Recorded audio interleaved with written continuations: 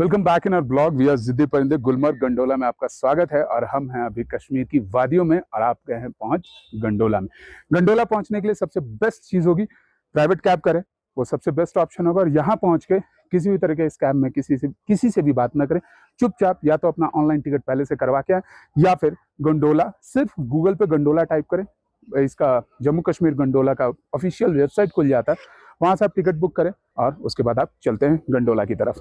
और अगर आप चाहते हैं कि टूरिस्ट गाइड आपके साथ चले तो गाइड्स के चार्ज हैं। फैक्ट चार्ज है 200 से 300 कोई हज़ार बोलेगा, कोई 1500 बोलेगा, कोई 500 बोलेगा, उसमें मत फंसना। 200 या 300 इससे अधिक ऊपर मत देना। चलो।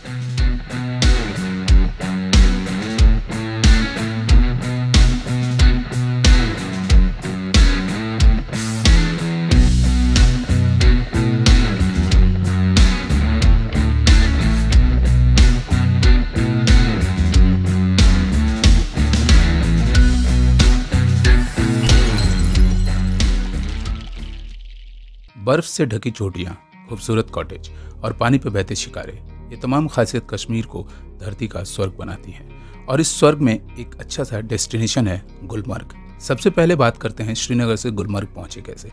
आप श्रीनगर से गुलमर्ग टैक्सी या कैब से जा सकते हैं। श्रीनगर से गुलमर्ग तक का किराया तीन से साढ़े तीन हज़ार तक रहेगा। हाँ ड्राइवर और फ्यूल, इसी में इंक्लूड होता है। गुलमर्ग कश्मीर के बारामूला ज़िले में स्थित है। गुलमर्ग यानी कि फूलों की वादी। गुलमर्ग में टूरिस्ट के लिए सबसे आकर्षण का केंद्र है गंडोला रोपवे आपको टैक्सी गंडोला के स्टेशन से लगभग एक किलोमीटर पहले ही उतार देती है। नॉर्मल डेज़ में आपको ऑटो मिल जाता है, जिसका किराया बीस रुपये पर हेड होता है। और जब स्नोफॉल होता है, तब वहाँ पे आपको स्टेशन तक जाने के लिए घोड़े की फैसिलिटी मिल जाती है। वहाँ पे आप बार्गेन कर सकते हैं। आपको टिकट काउंटर पे टिकट मिल जाएगा, लेकिन आपके लिए सबसे अच्छा होगा कि आप ऑनलाइन टिकट बुक करके ही जाएँ और 10 बजे के पहले आप गंडोला स्टेशन पे पहुँच जाएँ। अदरवाइज़ आपको बहुत भीड़ का सामना करना पड़ सकता है। गुलमर्ग में टूरिस्ट के लिए सबसे आकर्षण का केंद्र है गंडोला, रोपवे, जो दुनिया की दूसरी और एशिया की सबसे ऊँची केबल कार है। गंडोला से फ़ेज़ वन में पहुँचने के लिए लगभग 15 मिनट का समय लगता है। फ़ेज़ टू तक पहुँचने के लिए लगभग 30 मिनट का समय लगता है। गुलमर्ग घूमने का सबसे अच्छा समय दिसंबर से जून तक का होता है, जहाँ आपको बर्फ़ देखने को मिलती है। आपको बता दूँ कि गुलमर्ग का असली नाम गौरी मर्ग था। 16वीं शताब्दी में सुल्तान यूसुफ शाह ने इसका नाम गुलमर्ग रखा। और गुलमर्ग आज सिर्फ़ पहाड़ों का शहर नहीं, बल्कि यहाँ दुनिया का सबसे बड़ा गोल्फ कोर्स और देश का सबसे बड़ा स्की रिजॉर्ट है।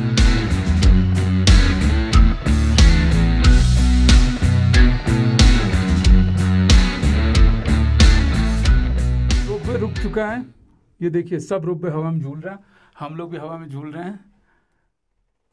अब नीचे जाएँगे कि नहीं जाएँगे पता नहीं। सारे रुके हुए हैं हाँ अब चला। चलना शुरू।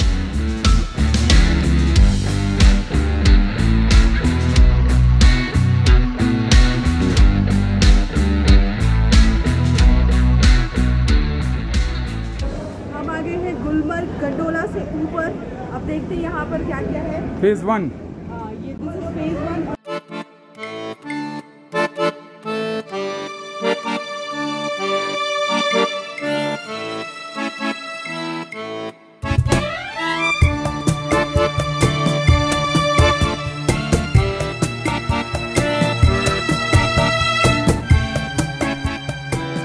मैं आपको एक चीज़ बता रहा हूँ यहाँ पे आपको बहुत सारे लोग मिल जाएँगे गिम्बल लिए हुए और वो आपको पचास रुपये में रील बना के दे रहे हैं तो आप रील बनवा सकते हैं। बहुत सारी चीज़ें, मुद्दे की बात पे आते हैं। ये है आपका गंडोला का स्टेशन, और जब स्नो गिरती है तो ये सब ज़मीन से कम से कम 20 फीट तक चला जाता है बर्फ़ के अंदर। हम लोग जब आए थे तो ये जो आप बेंच देख, ये जो शेड देख रहे हैं बैठने के लिए शेड का ऊपर का माला सिर्फ़ दिख रहा था, और ये फ़र्स्ट फ़ेज़ और वो ऊपर देखिए कैमरे में शायद दिख भी नहीं रहा होगा वो है सेकंड फ़ेज़ अभी भी आप सेकंड फ़ेज़ में देख सकते हैं बादल है।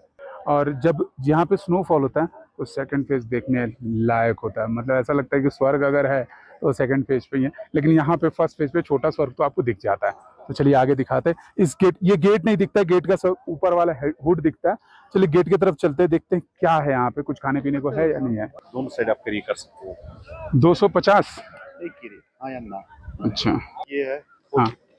ये 450 बढ़िया है। कितना लेंगे घोड़े का? ओ सर जी हमारा घोड़े का जो रेट है ना सर हाँ। गवर्नमेंट रेट है।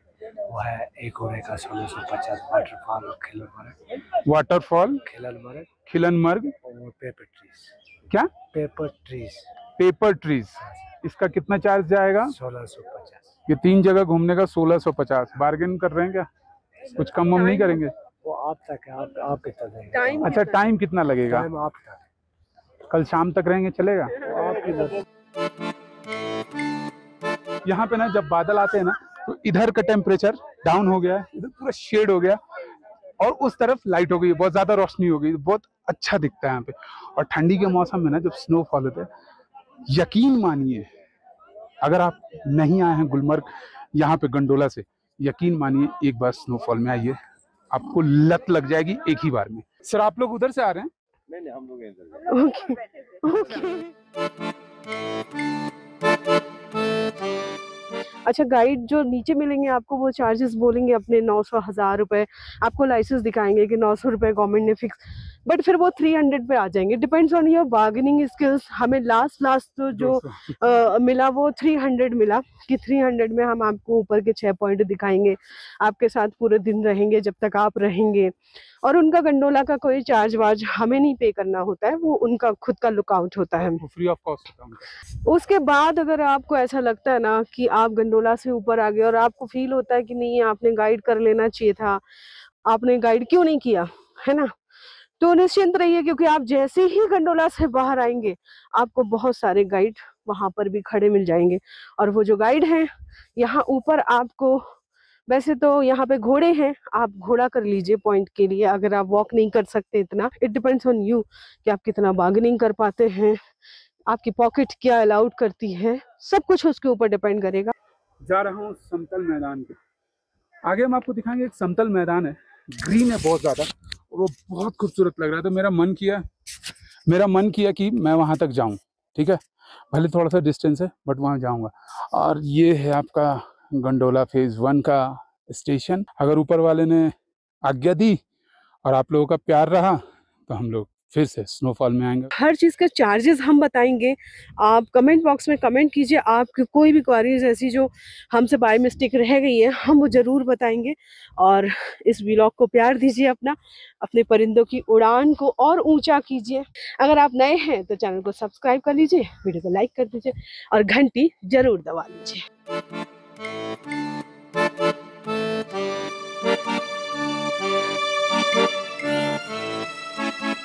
अभी हमें हल्की हल्की ठंडी लग रही है। वहाँ पे गर्मी थी, लेकिन यहाँ पे आते के साथ हल्की हल्की ठंडी लगने लगी। तो ये कह सकते हैं कि वादियों और घटाओं में कब कैसा सीज़न होगा और सीज़न कितनी जल्दी चेंज हो जाता है, ये देखिए, इस तरफ़ पूरे बादल हैं। ऐसा लग रहा है जैसे बारिश वारिश ना हो जाए। और बारिश हुई तो हमें भागने के लिए कोई जगह नहीं होगा, भीगना तय है। ये आपको पीले और नीले पॉलीथिन में ढका हुआ दिख रहा होगा। यह है जेट स्की जब ये बर्फ़ में ढक जाता है दस फीट, पंद्रह फीट, बीस फीट बर्फ़ हो जाता है तो यही जेट स्की यहाँ की रौनक होती है। Jet ski snow scooter ski ये सब यहाँ की रौनक होती है। और एक बार ये चीज़ देखिए, इस चीज़ को मैं बताना भूल गया। आपको ये सिंगल सीटर दिख रहे होंगे। वो अलग से दिख रहे होंगे। वो फ़ेज़ टू पे जाते हैं। और उस पर पब्लिक नहीं बैठती। उस पर वो लोग बैठते हैं जो स्की करने आते हैं। यहाँ पे छोटे छोटे रेस्टोरेंट्स हैं, ढाबा हैं। चलिए वहाँ देखते हैं, कुछ खाने को मिलता है क्या? सो गाइज़ आप मेरे पीछे देख पा रहे होंगे, यहाँ पर जो टेम्प्ररी ढाबा स्टाइल में बनाया गया है। सिटिंग एरिया प्रॉपर है। आप बैठ के यहाँ पर खा सकते हैं इंजॉय कर सकते हैं। और ये जो यहाँ पे चार्जेस है, वहाँ पे बटर टोस्ट आपको फिफ्टी रुपीज़ में, चाय फोर्टी रुपीज़ में और aloo paratha fifty eighty is depend on category है। यहाँ पे इवन आप पूरा अपना लंच भी कर सकते हैं। अगर आप गुलमर्ग में, गंडोला से ऊपर पूरा डे स्पेंड करने वाले तो यहाँ पर आप लंच कर सकते हैं। लंच में यहाँ पे टू फिफ्टी थ्री हंड्रेड से एक एक आपको वेजिटेबल्स और प्लस चपाती, पाती, पराठा सब कुछ मिल जाएगा। सो आप इस तरह से अपना यहाँ पर लंच कर सकते हैं, चाहे तो स्नैक्स ले सकते हैं। सो चलिए, हम लंच करेंगे गंडोला से नीचे उतर के गुलमर्ग में। सो बने रहिए हमारे साथ।